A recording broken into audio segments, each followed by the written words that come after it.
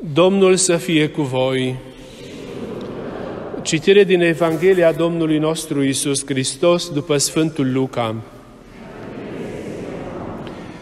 În acel timp au venit la Isus unii dintre saducei care spun că nu este înviere și l-au întrebat. Învățătorule, Moise a scris, dacă cineva are un frate căsătorit care moare fără să aibă copii, fratele lui să ia femeia și să ridice urmași fratelui său. Erau deci șapte frați. Primul, luându-și soție, a murit fără copii. Cel de-al doilea și cel de-al treilea au luat-o de soție. Și toți cei șapte au murit și nu au lăsat copii. În cele din urmă a murit și femeia. Așadar, la înviere, căruia dintre ei îi va fi soție femeia? Pentru că toți șapte au avut-o de soție. Iisus le-a răspuns, fiii lumii acesteia se însoară și se mărită, însă cei considerați vrednici să dobândească lumea cealaltă și învierea din morți, nu se vor însura și nici nu se vor mărita, pentru că nu mai pot de acum să moară. Sunt asemenea îngerilor și sunt fii ai lui Dumnezeu, fiind fii ai învierii. Iar că morții învie o arată și Moise în relatarea despre rug, când îl numește pe Domnul Dumnezeul lui Abraham, Dumnezeul lui Isaac și Dumnezeul lui Iacob. Dumnezeu nu este al celor morți, ci al celor vii, întrucât toți trăiesc pentru El. Cuvântul Domnului.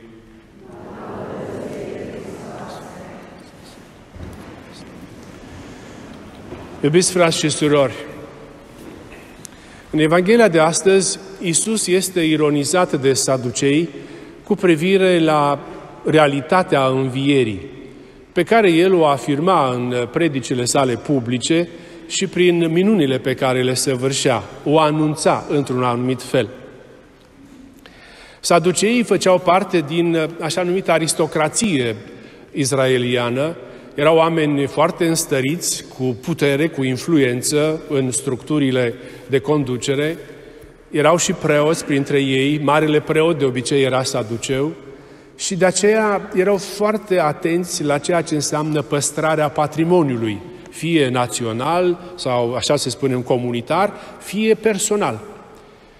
Întrebarea ironică pe care o adresează lui Isus nu urmărește clarificarea unui răspuns sau un răspuns pertinent, ci se ascunde mai degrabă intenția de a păstra ceea ce au, nu cumva să se distribuie și altora, adică să fie mai mulți moștenitori. Sigur, tangențial apare și problema învierii pe care Iisus am văzut cum, uh, cum o tratează și mai ales problema căsătoriei. Legea leviratului despre care se vorbește aici înseamnă legea cumnăției, să-i spunem în uh, limbajul nostru obișnuit. Adică un uh, cumnat, să zicem, sau mă rog, un tânăr care se căsătorea, dacă soția lui rămânea uh, fără copii și el murea, atunci un alt frate al lui, deci un cumnat, ar fi trebuit să o ia de nevastă și să aibă urmași. Potrivit legii lui Moise, Aici este o credință și anume că atunci când va veni Mesia și va inaugura împărăția lui Dumnezeu, nimeni nu poate să vadă această împărăție decât prin urmași, prin descendența sa.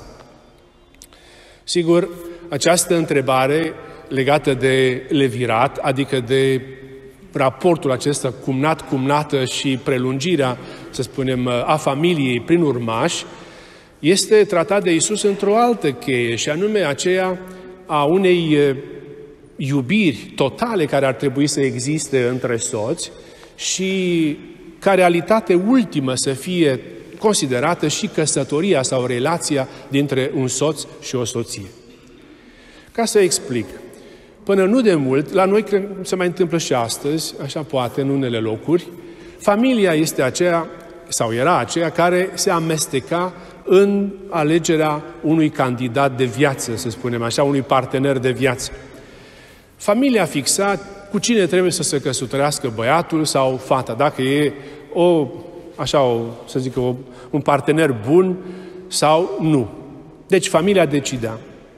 Lucrul acesta a fost și la început în biserica noastră, dar deja prin Evul Mediu se teoretizează o altă realitate despre căsătorie și anume că aceea ce se numește iubire generează relațiile profunde dintre un bărbat și o femeie și această relație bazată pe iubire sinceră, autentică, este deschisă și spre procreație.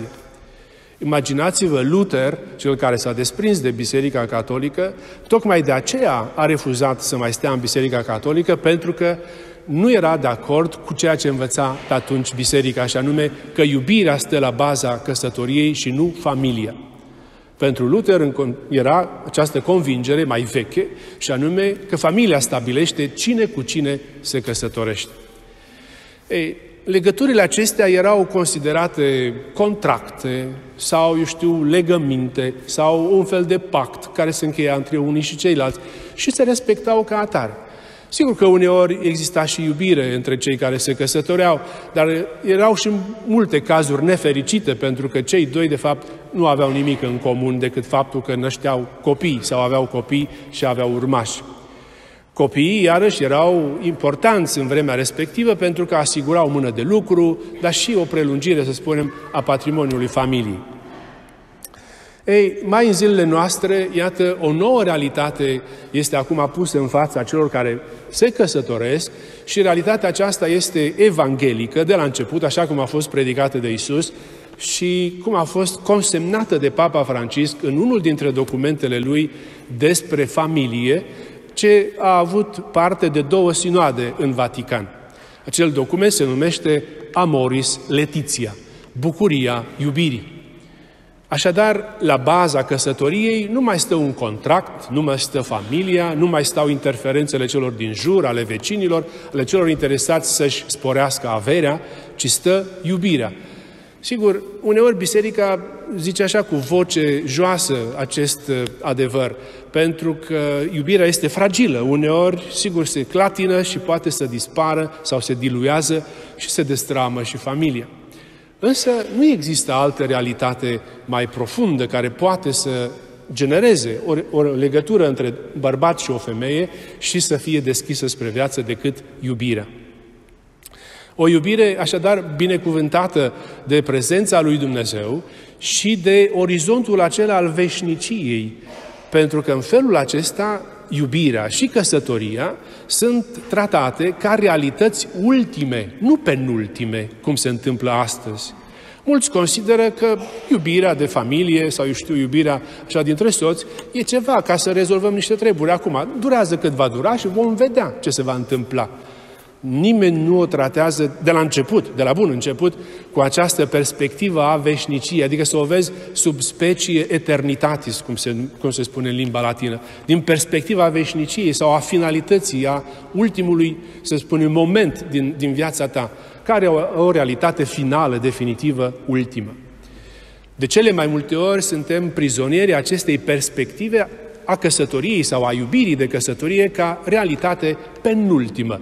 Dacă nu funcționează, caută în altă parte o iubire, nu? Ca să completezi ceea ce îmi lipsește. Asta înseamnă să te raportezi la o iubire de căsătorie ca realitate penultimă și nu ultimă. Interesant de văzut în Evanghelia de astăzi ce spune Isus despre cei care ajung dincolo, adică după moartea aceasta pământească, în împărăția lui Dumnezeu, că vor fi asemenea îngerilor și acolo nu va mai exista căsătorie. Nu, va, nu vor mai exista relațiile acestea de căsătorie. Cam așa se lasă de înțeles la prima lectură.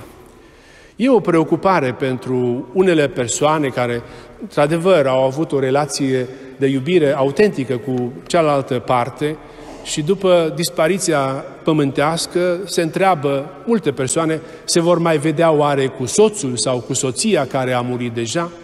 Ce fel de întâlnire va fi dincolo? Va fi la fel ca aici? Vom fi altfel? Îl vom recunoaște? Ne va recunoaște? Cum se va petrece această întâlnire?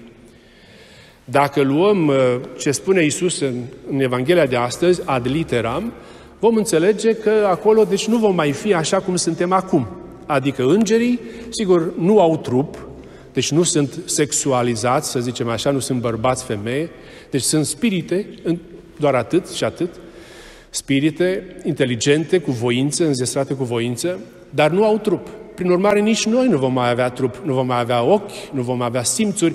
Cum am putea noi să-i mai recunoaștem pe cei dragi ai noștri care au plecat dacă nu vom mai avea parte de trup? Sigur, această, această chestiune este clarificată în ansamblul Evangheliei, unde, dacă ne uităm la aparițiile Mântuitorului înviat, vom vedea că el, pe de o parte, era recunoscut de ucenici și chiar i-a invitat să pună degetele în urma uh, rănilor lui, în, în coastă, în mâini, să vadă acolo unde a fost răstignit, deci era cu același trup cu care a fost în viața pământească, de data asta înviat. Iată de ce noi spunem că vom avea parte de aceeași soartă ca a lui Isus înviat, adică vom avea acest trup mai departe, dar într-o altă condiție, într-o altă stare, adică mai spiritualizat, sau să-i spunem complet nou cumva, potrivit afirmației din cartea Apocalipsului, unde se spune că la sfârșit vom, va fi un cer nou și un pământ nou. Din acel pământ nou și noi vom fi plămădiți, la acel pământ nou, cer nou, vom participa și vom avea un trup glorificat. În condiția actuală, noi spunem că suntem spirite întrupate sau trupuri spiritualizate.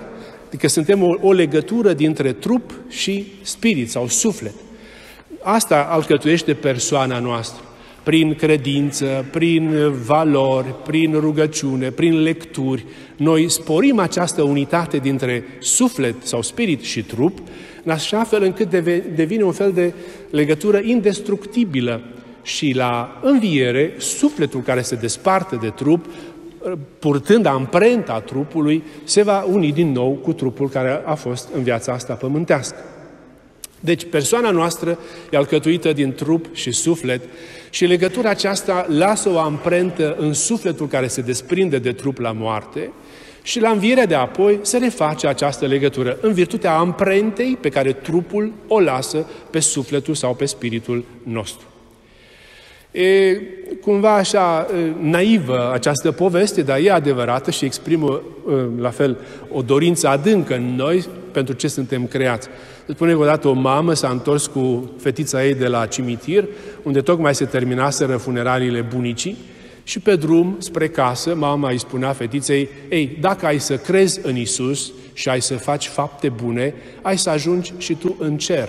Sufletul tău va ajunge în cer. Fetița zice, bine, sufletul meu va ajunge în cer, dar eu unde merg? Pentru că eu nu sunt doar suflet. A spus într-o manieră foarte simplistă fetița. Și la fel o spunem și noi, nu putem să ne desprindem.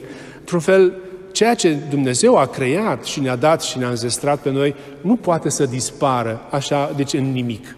Totul va fi valorificat și împlinit în împărăția sa, chiar și trupul.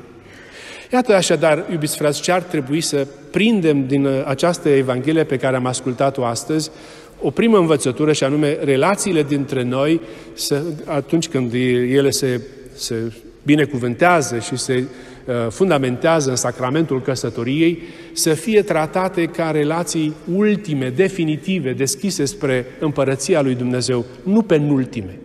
Adică să privim din perspectiva sfârșitului, nu a începutului de drum.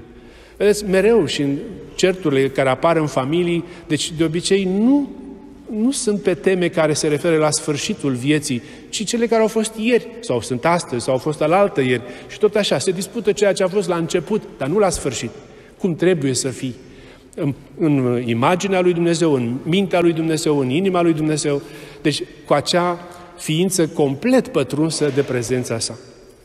Deci, să considerăm relațiile dintre noi ca un, ca un fel de realitate ultimă, definitivă, și în același timp profetică profetică, adică să anunțe împărăția lui Dumnezeu pe pământ.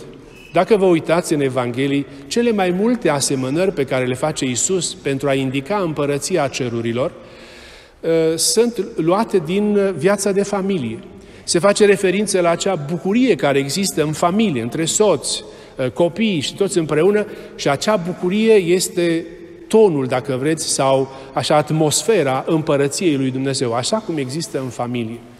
Iată de ce și pentru mentalitatea evreiască și astăzi nu se mai pune chiar așa problema, dar și pentru alte societăți creștine, A nu avea copii însemna, într-un fel, să fie, să zicem așa, un fel de, de semn de la Dumnezeu, adică o provocare. Pentru că trebuie să generezi acea iubire, să generezi acea iubire relații de viață autentice, fie lărgind cercul familiei, fie, dacă nu, prin copiii care sunt, să se întemeieze și mai mult această iubire pe viață dăruită. Așadar, căsătoria sau viața de căsătorie ca realitate ultimă, celebrată așa cu ochii eternității și sub această, să zicem așa, haină de profet, de profeție. Adică să anunțăm lumii de astăzi bucuria care va veni. Prin căsătoria, prin bucuria din căsătoriile noastre. Vă dați seama, nu doar fecioria sau celibatul este semn profetic pentru împărăția cerurilor. Da, este și acest. Dar viața de căsătorie, repet, revine cel mai des în uh, exemplele pe care le dă Isus pentru a ne vorbi despre împărăția cerurilor. Atmosfera aceea de bucurie dintr-o familie e nota caracteristică a împărăției. Cu alte cuvinte, împărăția lui Dumnezeu începe de aici. E un îndemn la a valorifica tot ce este în viața noastră de familie, să nu zdădărnicim nimic, toate relațiile, legăturile dintre noi, să aibă această deschidere spre împărăția cerurilor. Și al doilea lucru pe care trebuie să-l învățăm toți, căsătoriți, necăsătoriți, cu viețile noastre, așa cum suntem fiecare de vârstele noastre, profeți sau mai puțin profeți, căsătoriți sau celibatari, să încercăm să ne construim o viață cu această perspectivă a veșniciei, adică a lucrurilor finale.